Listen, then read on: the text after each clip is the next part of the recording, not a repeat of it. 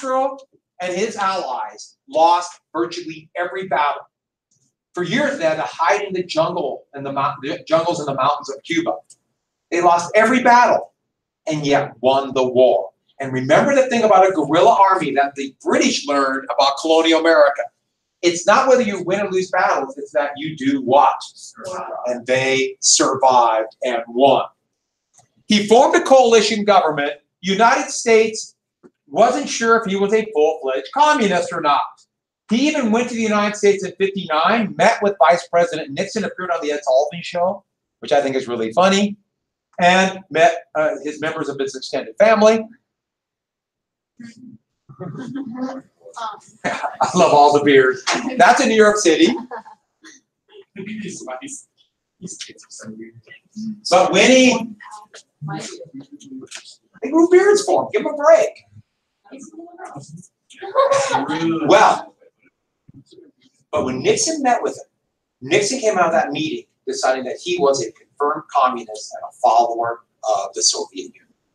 It's unclear if he really would have been that way, but by Nixon doing, Nixon saying this and helping direct American policy against him, it pushed him towards Khrushchev, because he's a communist. And by the middle of 1960, the CIA began operating or began organizing a plan to get rid of him. Just like what happened with what country did they remove the dictator in 54? I'm sorry, the uh, democratically elected president in 54, replaced him with a dictator who did in Iran first and then Guatemala. Similar things happened. Iraq a little bit more complex. It wasn't democratically elected. Syria was. And so they actually began to train in Guatemala. The thing was, it's 1960. There's a presidential election. It will. The operation will not be ready until the next president. That will have big consequences for the next president.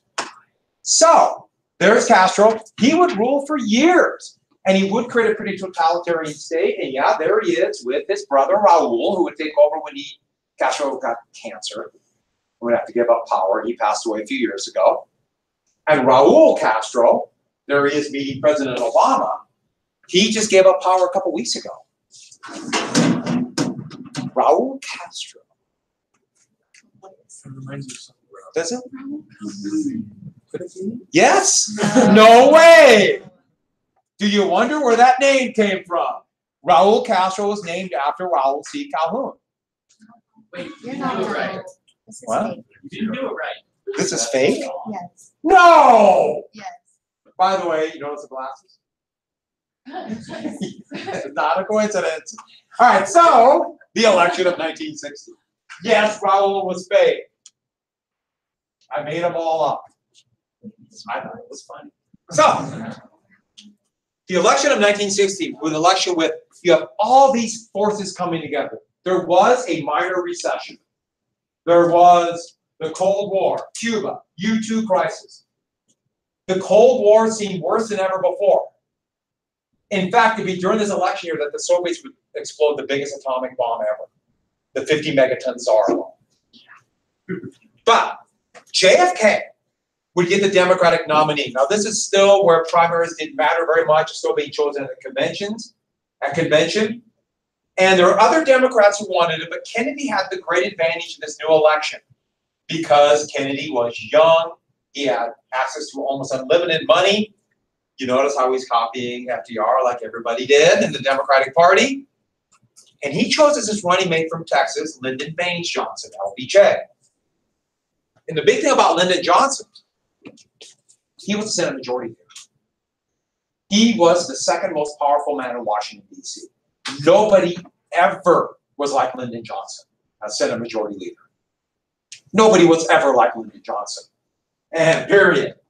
Lyndon Johnson was literally the master of the Senate. Nobody got more votes through the Senate. Nobody controlled it more, controlled the entire process. Nobody's ever done like Lyndon Johnson. And he gave that up to become vice president. People have always wondered, why did he do that? Because vice presidents have only two functions. Break ties in the Senate and Wait for the president for that. and Kennedy's brother, who the, uh, ran his campaign, um, become attorney general. And most of Kennedy's people hated Johnson, thought he was an uncouth Texan who was uneducated and sh- they wanted him gone. In fact, they might have kicked him off the ticket in sixty-four. It's one of these strange, amazing things. Now, before we get to Nixon, I'll tell you one more th- very quick thing about Kennedy. See that boat right there? That was a very popular campaign. He was the captain of a, it's called Patrol Torpedo, a patrol boat called a PT boat. His PT boat was PT one oh nine. And forty-three in World War II, so he was a lieutenant in the Navy. His ship was rammed and split in half by a Japanese destroyer. It, he was surprised, probably they were asleep, but he was horribly injured. But he still swam a mile to shore in Little Jungle Island, holding another crewman who was badly injured, saved his life. And then he, with some natives, got off this island and rescued the crew. And so he was a real hero. His back was horribly hurt. He would have to spend the rest of his life with his back brace. They kept it secret from the people how bad it was. He was on a cocktail of various medication and painkillers just to keep him functioning. In fact, he also had the disease, or almost certainly it was Addison's disease, and which was deadly. It nearly killed him twice. And he was on all these medications. In fact, he nearly died in 48 and in 57. He was given the last rites twice. He was he was Catholic, and he was the first major nominee since Al Smith to be Catholic. A lot of people thought that was a big deal. In fact, he was given the last rites three times on the deathbed. The last time would be his death. He got down to like what 110 pounds. He was six one. He was really ill. He was elected in the Senate in 58 and did virtually nothing because he, he was sick or kind of had the reputation of a lightweight. Or when he was healthy, he just didn't want to do that. But that helped him. He had no record. So they could invent him. Unlike his opponent, Richard Nixon. Richard Nixon had been vice president for eight years. So everything good and bad about the Eisenhower administration, Nixon saddled with it. And remember, he was the red baiter extraordinaire, known as a hatchet man. He was called Tricky Dick. In fact, they tried to do this new Nixon, where he'd be above the fray and no longer be this duplicitous politician. So there'd be the new Nixon, and then the new new Nixon, then the new new new Nixon. And then later on there'd be the new new new new Nixon. And then he would die. But knowing Nixon, he will make a comeback. So mm-hmm. get ready for the new, new, new, new, new Nixon. Kennedy was the one who was really sick. Kennedy was really sick. Yeah, it was just a whole cocktail. In fact, they put him on steroids too to gain weight. So he was taking steroids and painkillers and barbiturates. And, I mean, he you would not believe, and they kept it all secret. I think this being near death and various other things is part of the reason why he had thousands of extramarital affairs. But they also kept that secret. A compliant press. And so Nixon and and uh, Nixon and Kennedy, there was a recession which they blamed the Republicans and the arms race. And they really pushed experience for Nixon and new for Kennedy. His slogan, remember, we have the New Deal, now we have the New Frontier. And remember back in 1952, Republicans accused the Democrats of allowing the, allowing the Soviets to build more what weapon? What kind of weapon? Do you remember what it was? Bomber. Bomber gap. Remember the bomber gap? Well, now it's the other way around. The Democrats can accuse the Republicans of allowing. And because of what's the satellite? Because of Sputnik, the missile gap. and what the Kennedy campaign said, the Nixon, Eisen, the Eisenhower Nixon regime and the Republicans who controlled the presidency, they allowed the Soviets to get more missiles because of either their incompetence, their unwillingness to spend money on defense. They allowed the Soviets to have this huge advantage with long range intercontinental ballistic missiles that could hit the United States and there's no defense. 30 to 40 minutes and atomic hell would rain upon the United States. And because of Sputnik, everybody believed it. It was a perfect cheap shot for the Democrats. They could hit and hit the Republicans just like the Republicans did back in 52, and Republicans couldn't fight back. They knew it wasn't true. The U 2 flights told them, but the U 2s were secret. Even though they had the crash, they didn't want to admit that they had done a thousand of these flights. So they couldn't respond. There was a missile gap. The United States had over 100 ICBMs, including one of these Atlases, because they're really dangerous. They still have liquid fuel, liquid hydrogen and liquid oxygen, which is, don't play with that at home. Really dangerous. Yeah. And so volatile, it's terrifying. The United States also had over 500 medium and intermediate range missiles in Japan, Turkey, and Italy that could reach almost every part of the Soviet Union and over a thousand bombers. Anybody want to guess how many ICBMs the Soviets had on election day? You're close. uh, you're so close. Not enough. Not enough. Not enough. Ten. One. and it took two days to fuel it because the fuel was so volatile. So the point was there was a missile gap. What a perfect shot. And you want to see the Kennedy Act. You ready? Yes. Kennedy, Kennedy, Kennedy, Kennedy, Kennedy, Kennedy, Kennedy, Kennedy, Kennedy. Do you want a man for president who's seasoned through and through? But that's a doggone season that he won't try something new. A man who's old enough to know. And young enough to do. Well, it's up to you, it's up to you, it's strictly up to you.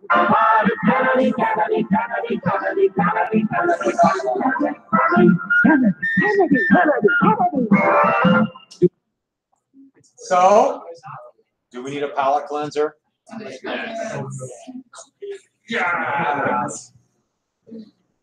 Ike for president, Ike for president, Ike for president. So, vote, vote time. You like I, I Which like better? I, everybody like I. For president, I like I. Come on, which one? bring that country Washington. We don't want gun. Okay. Also, even though it was going to be an evenly matched race, Nixon did see more experience. Kennedy really had this reputation of being a lightweight, kind of a playboy, and it looked like it was going to be close to maybe a Nixon victory. And that's when Kennedy, who wanted something, well, he, he wanted something to get out there. He challenged Nixon to the first ever presidential debate between candidates of, this, of different parties. For the nominee, there are a couple in the 50s, but they didn't really go anywhere. This is the first ever presidential debate. And now with TV. Now, Nixon really wanted this too. Nixon's like, perfect. I am smarter. I'm more articulate. I can speak to the people. And so we're going to watch just a little bit of the American experience on Nixon. Richard Nixon stood at the top of his party. As he mapped out an ambitious 50 state campaign, he was challenged by his opponent, John F. Kennedy, to a series of televised debates, the first in American history. Even when hospitalized for two weeks with a knee injury, Nixon remained confident, anxious for the debates to begin, eager once again to use television to talk directly to the voters. At the time, there was a feeling that this overall might be a mismatch. Nixon was the candidate who had more prominence, who had been a member of the House, a member of the Senate, and the Vice President of the United States. This. Kennedy, he didn't have a particularly uh, strong reputation in Congress. He, there was some feeling that he was, to some extent, a playboy. He wasn't right too there. serious a senator. So I think people felt that Nixon had the edge. And I think Nixon felt that he had the edge. The candidates need no introduction. The Republican candidate, Vice President Richard M. Nixon, and the Democratic candidate, Senator John F. Kennedy. Now, a couple things about this you can see right away. First off, the most popular style of suits for men, for politicians, gray. Gray suits in the 50s, so going into the 60s. Gray suits were really popular. So Kennedy really went against pattern, dressing in a dark suit with a dark tie. Now, after this, you notice every politician, at least male, wears a dark suit and a dark tie, right? Have you noticed that? Because look at him on TV, especially noticeable with black and white television at that time. Kennedy really stands out there. Think about the gray suit. What does Nixon do? Yeah, it kind of looks like a floating, scary head right there, doesn't it? And so he had the staph infection. He lost 20 pounds. He looks gaunt. His suit is just a little bit ill fitting. And then he hit his knee getting out of the limousine, the one he had the infection on. He hit it going into the TV studio. He's in pain. So he just looks bad. But we're not done. According to rules set by the candidates This is a real themselves, debate, and I like each man The Nixon Kennedy debates would forever change the way Americans chose their presidents. Political rallies and old fashioned handshaking became much less important than the image on the television screen. You must understand that Nixon himself had said, I don't want any makeup on for this, these particular debates. What I tried to explain to Dick was he has a certain characteristics of his skin where it's almost transparent. And it was a very nice thought to say, uh, you know, I don't want any makeup, but that he really needed it in order to have what we would call even an acceptable television picture. So, neither man wanted makeup. They both made a big deal about, you men don't wear makeup. I'm a man. But Kennedy, when he got to the studio, they snuck him into the bathroom and put a little bit of makeup on because TV catches everything. Nixon not only didn't have makeup on, he had a few things that really were actually two biggies. First off, he had a five o'clock shadow almost immediately. You know what I mean by that? He grew a beard very quickly. He's one of those guys he would grunt, and that's a full beard. There it is. And so it constantly had to worry about shaving. Well, there was a product they used to sell that was like stick deodorant called Shave Stick. And it's very much like a product they still, I, I found out this morning, they still sell today, and it amazes me they still do, called, called Nair. That literally chemically dissolves hair. It's mostly for women, and it's, it's really, it's, don't do it. But this shave sticks, they would smear it on the face. The idea was it would kind of eat away at whiskers. And I guess it smelled really bad, but it kind of worked. They said, okay, we'll do it right before, so you won't have all of a sudden the kind of a gray area. Because he already looks gaunt and pale. While Kennedy's been in limousines, he's been outside, he looks tan. And so they put this on. And Nixon has another thing. He really sweated. It's just common. A lot of people do it. But TV, it's a big deal. In fact, that's why they call it the hot glare of television. Especially the cameras back then, they need a lot of light. So think about all the lights in a packed studio, how hot it's going to be. So he's they're worried about him starting to sweat. So what happens is they smear this stuff on, he gets on stage, he starts sweating almost immediately. You see this kind of the shine developing, which one of the makeup kind of covers that shine. Well, pretty soon not only started shining, but it almost started to shake because the shave stick started to move. And then it started to slide down his face and collapse and start to land on his coat. People called up their television studio and said, Man, this man is sick. Please, somebody help him. He looked just and come on with that floating head image as one TV media critic said he looked like a sinister chipmunk. And you have problems here. And of course, JFK, here he'd been riding in motorcades all over California with the top down. He looked like a bronze warrior when he came into Chicago. And He really did. Mr. Nixon comes out of the Republican Party. He was nominated by it. And it is a fact that through most of these last 25 years, the Republican leadership has opposed federal aid for education, medical care for the aged. I know what it means to be poor. I know what it means to see people who are unemployed. He's already shot. I know Senator Kennedy feels as deeply about these problems as I do. But our disagreement is not about the goals for America, but only about the means to reach those goals. The first debate was costly to Nixon. The radio audience thought he had won, but the largest television audience in history had seen the vice president haggard and drawn, and had been given its first sustained look at the Kennedy style. So, did you catch that? The radio audience looked, okay, listen, and it was really close. But a slight majority, according to a couple polls, had Nixon winning, but television wasn't even close. Yeah. Actually, I like the way Nixon speaks better. He speaks the way he says how he boasts, how he speaks more eloquent. He kind of does. Well, and, and that's the thing. You're talking about image there. So it didn't matter what they said or who said the truth, it's just what the impression you got from how they spoke. And that tells you everything you need to know about why this was such a big deal. It was the image on the TV screen that people liked. So you like the image of the way, the, the sound of the way Nixon talked, that too is image. The people liked the image. And after this campaign, it became confirmed. We've already talked about that with the log cabin And then the voice on the road, remember I played John Smith and now FDR and image, image, image, image. Image of Kennedy was of a fit, vigorous man, a man people wanted for the new decade and this new era. His slogan, the new frontier seemed to fit, while Nixon looked old and haggard. I don't know how this sounds, just how they look. That image. And it was a total lie. Kennedy was a sick man, yet he looked fit. Image is more important than anything in modern politics. You can see it so much here. From this day on, they can event a candidate and turn him into an image. And now it's all television, or at least media on the screen. How they can create a candidate, how they can create an image. And we saw this in the last campaign. You had uh, uh, Secretary Clinton and Senator, well, Secretary got out of the last position, and she had a long history. And so, a long history of things. So, it was already people had an idea about her. Well, President Trump had no history as a politician. In fact, most people knew him from a television show where he portrayed an image of somebody. That's a big deal. I know it's enough. All you have to appeal to is to about the 10% of voters who don't decide. But they are going to vote. That's when image matters. So the election would be razor thin. Richard- Oh, sorry. Nixon's No. Look how close the popular vote was. Kennedy got just 120,000 more in the country this size. That's nothing. That's a drop in the bucket. That's how close it was. Electoral college a little bit further apart. But it was a razor thin victory for Kennedy. Democrats did good all over the country. You'll notice one more thing, too.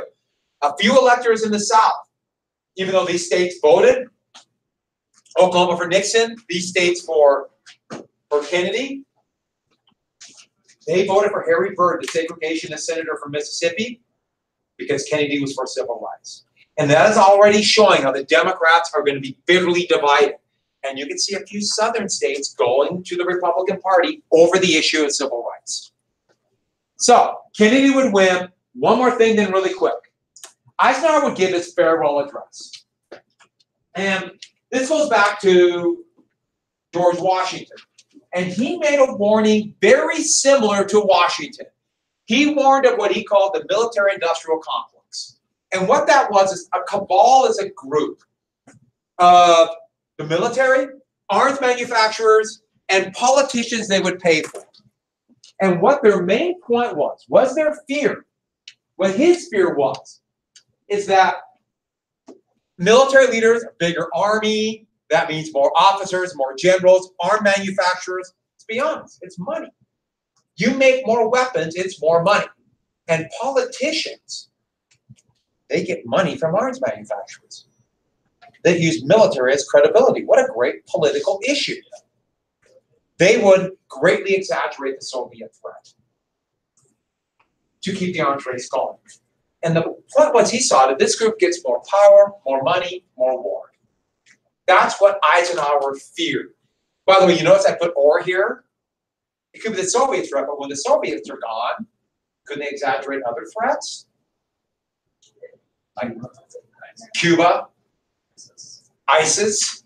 Yeah, I mean, a bunch of pirates are going to attack the U. I mean, they're they're dangerous, but like they're going to invade the U.S. Heck, President Reagan talked about Nicaragua invading the United States. I just want you to ponder that for a second. Yes. Just watch Red Dawn, the first one. And will anybody listen to Ike? No. Not at all. Not at all. In fact, let me give Now, you this just a little bit of Ike's of an immense military establishment and a lot of livelihood are all involved. So is the very structure of our society. In the councils of government, we must gar- guard against the acquisition of unwarranted influence, whether sought or unsought, by the military industrial complex. He would be ignored and be very prescient. There'd be a war in five years. But let's quickly talk about the new frontiers. Now, don't get all these things down. I put these down to give you an idea of the way that Kennedy was going. He wanted to finish the New Deal, the Fair Deal. Oh, there's going to be a lot of rocking chair references. That's the only chair that felt good on. He could sit down because of his back. If It is really thick back brace. So he was always like very stiff looking sometimes when he sat, that's because of the back brace. And, but doesn't he look fit? I mean, he looks so young and, oh, I guess he's on drugs and steroids. But tax cuts for uh, working class people, anti-poverty programs, but the three biggies you do have to get down. The three biggies of the new frontier he wanted. Civil rights, Medicare, which is health insurance for the elderly, and a massive increase in defense spending. But unlike Ike, who wanted focus on nuclear weapons, he called this flexible response for a changing world. Focus on conventional, and the big thing is conventional. Yeah. Civil rights, Medicare, and defense. Kennedy was an adept politician. But that means you're good at getting legislation passed. All right. So tomorrow,